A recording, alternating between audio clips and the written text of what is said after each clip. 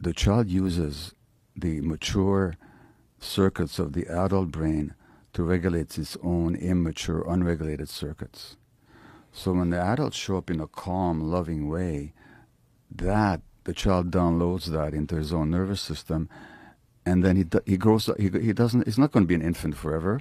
At some point, he's going to be a mature adult who knows how to take care of themselves.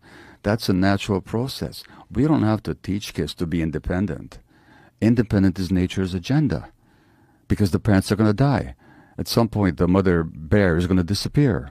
That bear cub has to be able to look after themselves in a mature, confident way. That's nature's natural agenda.